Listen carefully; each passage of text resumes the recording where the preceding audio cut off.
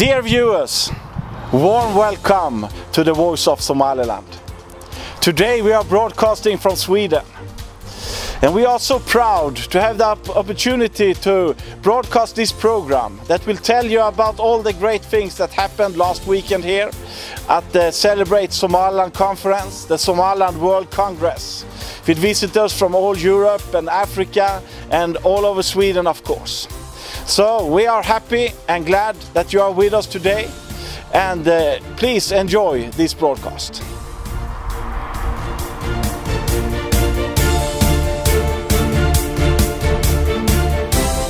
I'm so proud to work with the nation of Somaliland. It's the only democratic nation at all the Horn of Africa and also at the Arabian Peninsula. The neighboring countries as Yemen, that you have full war today, or Oman and Saudi Arabia, non-democratic nations, or Eritrea, they have such huge problem with human rights and democracy, and also Djibouti and Ethiopia that is not fully democratic nations, and Somalia, that you have such huge problems with terrorists, with piracy, and with uh, non-democratic movements. And in the middle of all this, you find one nation, and that is the nation of Somaliland. The nation of Somaliland's border was established already 1884. And today, the people are living in peace and stability in the, in the middle of one of the worst regions of the world. So I'm so proud to be a part of this. And I just want to say, Somaliland, Ha noolaato.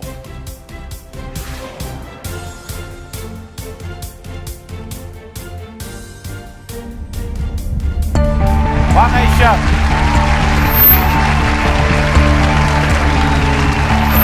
One nation, one people. One people. Under one flag. The flag of Somaliland. Somaliland Ha noolaato. Somaliland Ha noolaato. That's the only democratic elected government in all the Horn of Africa on the Arabia Peninsula. And it's also the only country that is not recognized.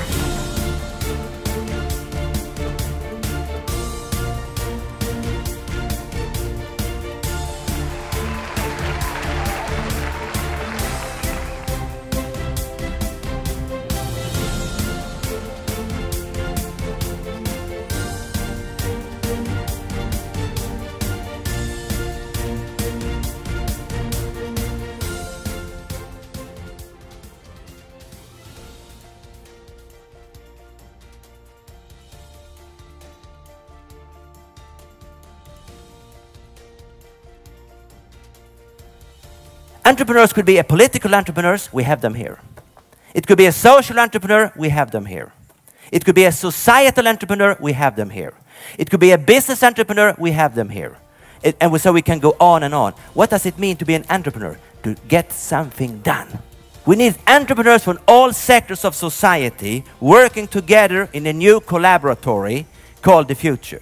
The new interface between countries, sectors, industries, and ideas.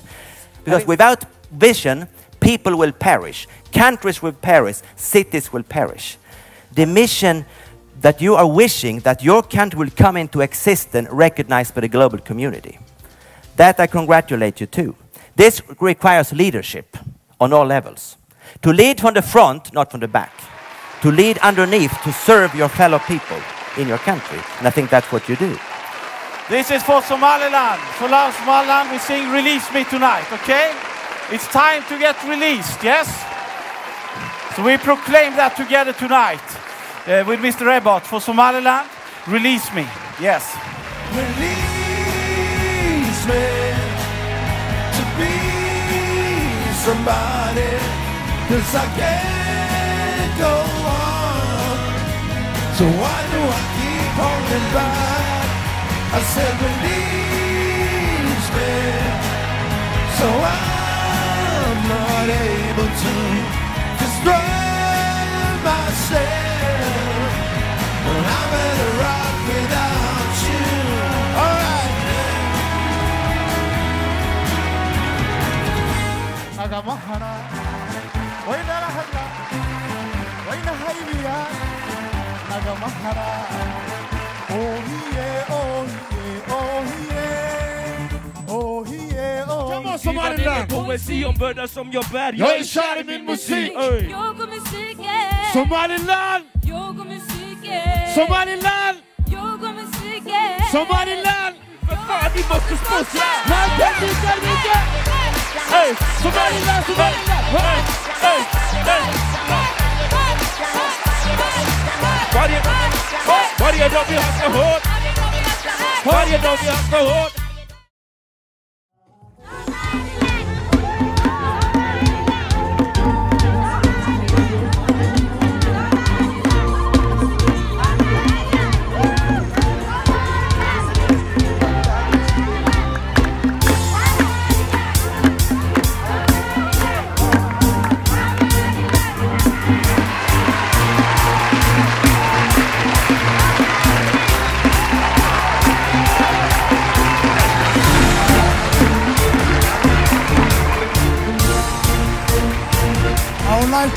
This opportunity to say thank you to Mikel, who made it possible for Somaliland national football team to make history.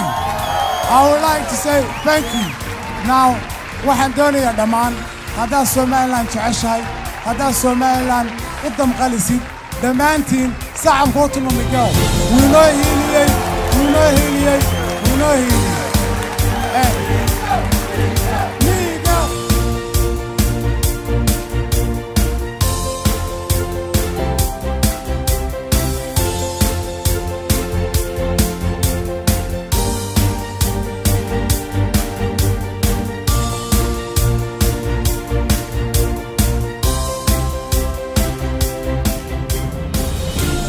I thank the government of Somaliland for having given me this opportunity to come to you here today so that I may speak with you on this very important occasion.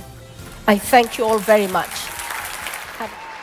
My message to you today is a message I wish you to carry in your hearts and a message I want you to tell the world again and again wherever you get a chance.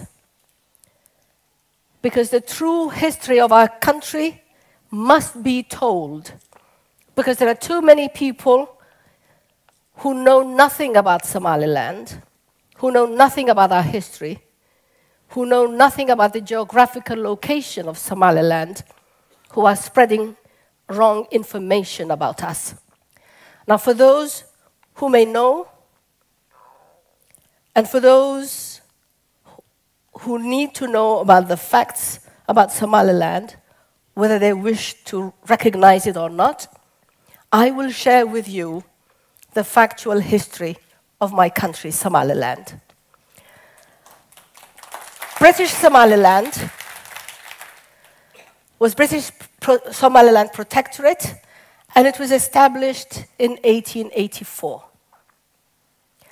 Our borders were marked following treaties between France, Britain, Italy, and Ethiopia in order to define the French territory of La Côte Française des Somalie, British Somaliland Protectorate, and La Somalia Italiana. But there is, but here's the question. The question that we ask you, the question that we ask the world. What makes the other borders, the other African borders, the colonial borders, legal and permanent, but makes the borders of Somaliland illegal? It's a question I am asking the world. Somaliland has the same borders today that it had when it was established in, 1884. It had the same borders as our independence from Britain in 1960. And it had the same borders when we separated from Somalia in 1991. Now, since our independence, which is 55 years old, our independence from that British protectorate was negotiated and was born not through conflict, but was not, it was not self declared, it was a negotiated sovereignty that followed a royal proclamation from Her Majesty Queen Elizabeth II, which makes our independence from Britain total, legal, and binding. In 1960, Somaliland was the 12th independent African nation. And it was senior to 42 African countries who were still under colonial rule in 1960 when Somaliland became independent. Somehow, these 42 countries are among the current 53 members of the African Union who, ironically, have given themselves the authority to determine the fate of Somaliland. After independence, Somaliland became a member of the United Nations and was immediately recognized by 34 UN member states, including the five permanent members of the Security Council. 64 years later, since we have neither resigned from our membership in the United Nations nor given it away to anybody, we still claim ownership of our independence and that of our membership in the United Nations. In fact, it is our neighbor, former Italian Somalia, who piggybacked on the existing UN membership of Somaliland, which we had already secured five days before Somalia even became independent. The fact that Somaliland was the senior mother country to which Somalia united is also overlooked by the international community. The international community grants our former junior partner a de facto position of ownership over Somaliland. The truth is, Somalia does not legally own that position, nor can Somaliland be considered a breakaway region, because Somalia, who followed to who allowed to join us, neither owned or bought any part of Somaliland, nor has annexed Somaliland through a military conquest. It is also worth mentioning here that the Act of Union, which would have formalized the, the unification of the two sovereign Somali states, was never ratified by the parliaments of the two countries.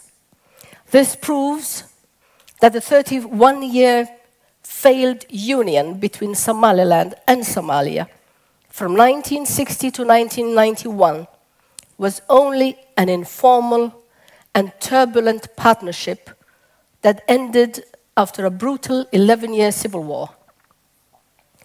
Our temporary union was therefore a union that was never legally binding on either side. We all remember the union between Senegal and Gambia, which lasted only six months. The union between Egypt and Syria lasted three years. Just as we did, these countries went into a voluntary union in good faith as sovereign countries. But when their union failed to satisfy the aspirations of their people, they separated without any punishment or banishment from the international community. On the contrary, Somaliland is being punished, and Somaliland is being banished for doing exactly the same as these countries did. Somaliland at least gave our union a much longer trial and only separated from the military from it after the military regime of Somalia and Somalia's dictator Siad Barre carried out war crimes and acts of genocide against our people. We withdrew from the Union when government airplanes indiscriminately bombed and flattened 90% of our cities and destroyed our schools, destroyed our hospitals, destroyed our mosques, destroyed our markets. We withdrew from it when tanks and heavy artillery pounded civilian dwellings without pity. During those 11 years of genocide and mass killings of civilians, the world did absolutely nothing to stop the carnage of our people. Where was democracy? Where was the justice? Where was democracy then when thousands of women and children were massacred? Where was democracy when over half a million of our people became internally displaced? Where was democracy and where was justice when an additional million sought shelter in camps in Ethiopia, in Djibouti, and many came to Sweden and other countries where they could find refuge? To this day, we discover mass graves containing the remains of small children. So far, 100 mass graves have been registered by the United Nations forensic experts. Sadly, the international community chooses to reward the perpetrators of these crimes with billions of your taxpayers' money when we who have been the victims are being denied a hearing and therefore being denied our day in court. This is the closest we have gotten to a hearing in 24 years. Ladies and gentlemen, the liberation of Somaliland in 1991 was brought about successfully, and we worked hard since then to keep the peace and the stability that we enjoy today. We achieved it through the sheer, determination of our men and women and that of our traditional leaders. Unlike the 16 or 17 or 18 Somalia peace conferences that were held in different countries and which were all heavily funded by the international community, peace in Somaliland is totally homegrown and was funded entirely with our own resources. That is why peace holds in Somaliland. To this day, it holds because we wish it to hold. After the liberation, we held several peace conferences.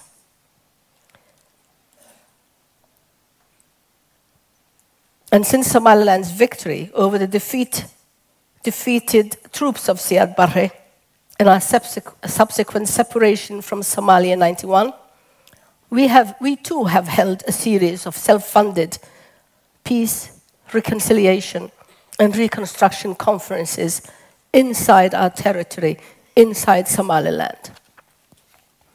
The first conference was held in Berbera in February 1991 when our traditional elders unanimously agreed to let bygones be bygones. They urged our people not to seek revenge, nor bear malice for any persons from Somalia still living in Somaliland. Consequently, 10,000 Somalia troops that became stranded in Somaliland after the war were fed, sheltered for three months, not for one day or two, and were protected until a safe corridor could be secured for them for their return to Somalia.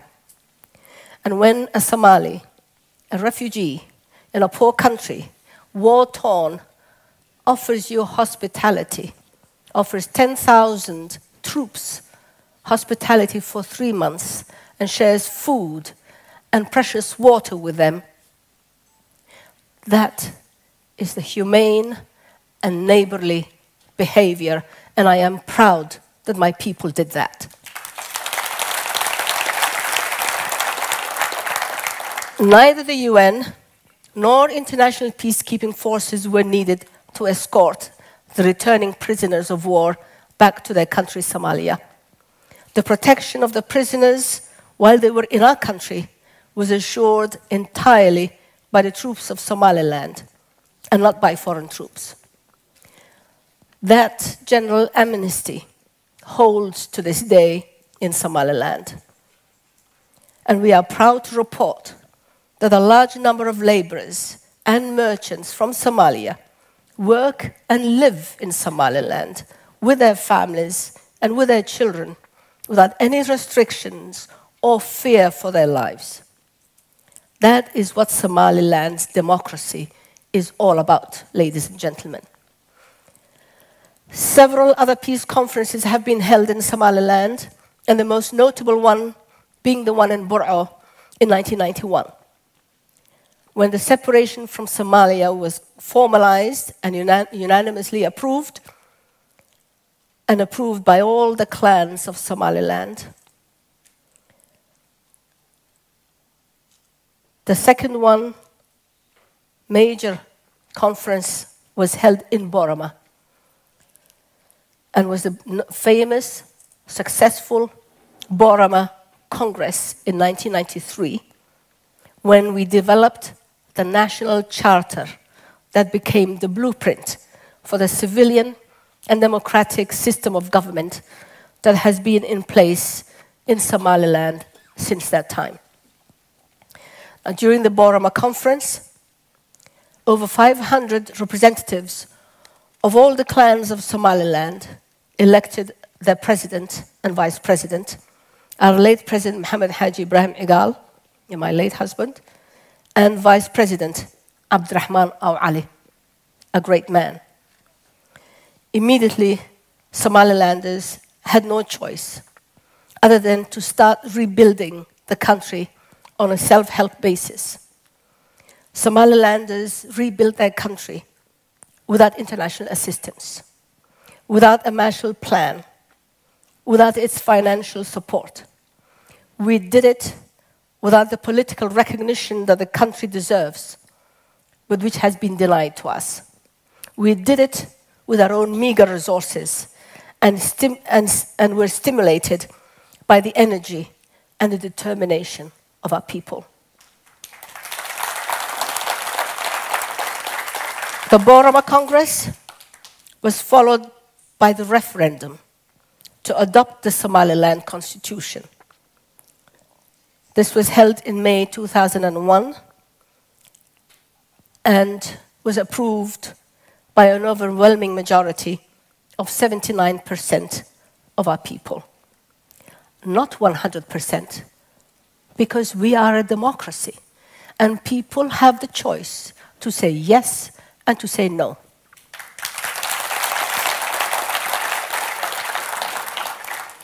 Voters also reaffirmed their support for the country's sovereignty, which is consistent with the basic human rights of people to seek self determination as contained in the charters of the African Union and that of the United Nations. In December 2002, we held our first local government and parliamentary elections. In April 2003, we held our first presidential elections. Having then completed a long and difficult transition from a traditional clan based political system, we moved to a stable multi party democracy in Somaliland. We have held several other political elections which have all been successful, democratic, which have all been witnessed by the international community. The presence of Sweden as observers was welcomed and appreciated. We are preparing for another fair, free, and democratic presidential elections and hope that Sweden will be with us once again. Many recognized countries in Africa cannot boast of such an exemplary record. In Somaliland, that is what we call democracy in action. Less than three years after our separation from Somalia, Somaliland became the second African country after South Africa to achieve general and voluntary demobilization of its militia. We demobilized our freedom fighters without international assistance and without international troops to make it happen. We all know how many times demobilization had been attempted in Somalia with the help of peacekeeping forces from more than 27 countries, including the United States of America. And we all know how badly and tragically these attempts had failed. We in Somaliland brokered our own demobilization. We paid for it with our own resources and then incorporated the demobilized militia into our national army, which is now trained and which protects Somalilanders to this day. Now, 24 years after separation from Somalia, Somaliland is a country of hope, of peace, and of determination.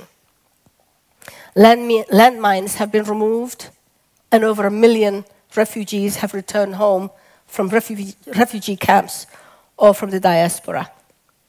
Thousands of dwellings have been rebuilt. Major economic infrastructure has been repaired or built. And schools and hospitals and mosques and ports and airports and other public property have been rebuilt. Today we have an economy that is increasingly attracting foreign investors who wish to do business in Somaliland.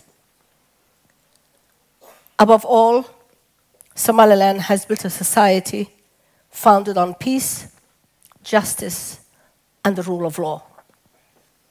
We stand neither for secession nor for the revision of Africa's borders. We respect and reaffirm our commitment to the peace and stability of the region, the Horn of Africa, which includes an unreserved respect for the unity and the territorial integrity of nations. Somaliland was among the first African states to be free from colonial rule, and our demand for recognition implies full respect for the borders of British Somaliland Protectorate as handed over to us at the moment of our independence from Great Britain. And ladies and gentlemen, the good relations we enjoy with our neighbors and neighboring states are the cornerstones of our foreign policy. We strive for a more stable, democratic, and prosperous Horn of Africa. Our system of free market economy seems to fully agree with the entrepreneurial character of our people. It is seen in the dramatic economic growth that exists and which has earned us the description of a rare African miracle. Today, we have more hospital beds, we have more universities, and we have more young people attending schools and colleges and universities, more than we have ever had in our past history. We have more advanced telecommunication system, an, an electronic money transfer system than many countries in the world. Somaliland has mineral resources that have not yet been exploited. We have oil, we have gas, we have coal, and we- have the world's largest gypsum deposit. We also have an 80, 850 kilometer long coastline that is free from pirates and which is strategically located on the Gulf of Aden. It is rich. It is rich with marine resources and is only waiting to be exploited in order to boost our economy and to create jobs for thousands of our people. The deep water port of Berbera serves as a major outlet and inlet for landlocked neighboring Ethiopia, which has a population of over 70 or 80 million. Berbera Airport has the longest runway in Africa, having been built by the British, extended by the Soviet Union, and then by the United States to become one of the six landing sites for the Columbia Space Shuttle. Did you know that?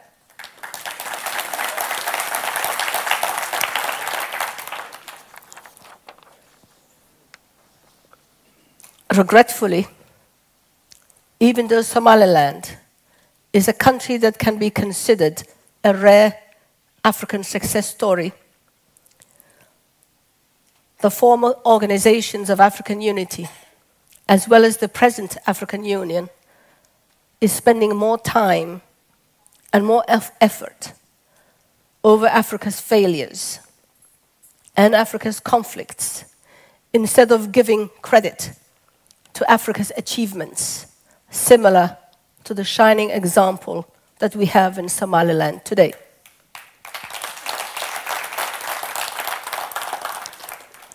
Independence and sovereignty for Somaliland is a reality with no turning back of the clock.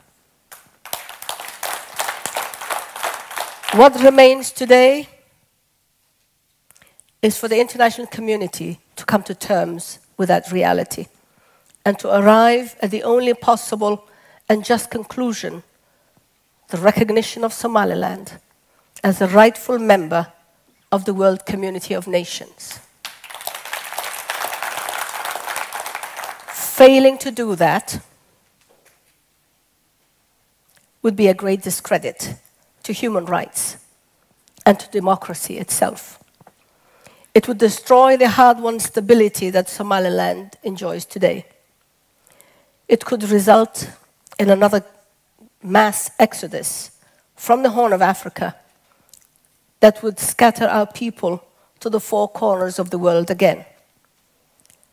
Somalilanders have had time to recover, have had time to heal emotionally, and have had time to rebuild their country economically, politically, and militarily. And from this position of strength,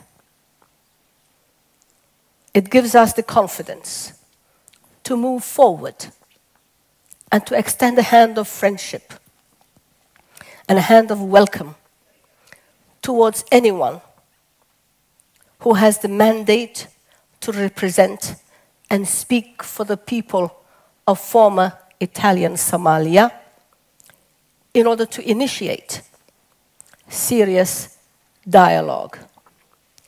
This dialogue would be based on the goodwill and the mutual respect for the territorial integrity of the two sovereign Somali countries that united on the 1st of July 1960. This dialogue could become the foundation upon which the two peoples could build a platform for sound and serious negotiations between neighbors, between brothers, between families, so that our people on both sides of the border would find peace, stability, again after a quarter of a century of troubles, tragedy, and turmoil. The people of Somaliland have made a clear choice. The question now is will the international community respect the choice of the people of Somaliland? Now, I want to end my speech and express my appreciation for those who organized this conference. I congratulate Ambassador Rhoda and her team. I congratulate those who have supported her, her Mr. and Mrs. Torstensson. I thank the great people of Sweden who have welcomed me to their country four or five times. And each time I go back with a greater respect for this great country that is Sweden.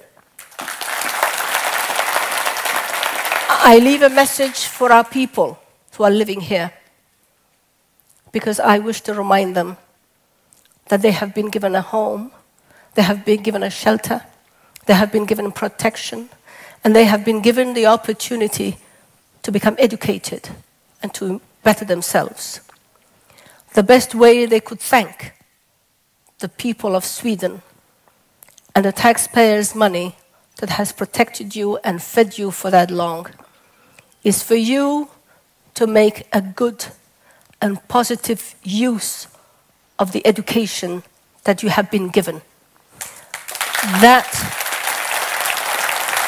that would be the best way to show that what has been given to you has not been wasted. And I want you to prove to the world that you will become people who will turn that education into a positive energy that would make this world a better and a safer place for all of us. That would make me proud of you. And I know that you can do it.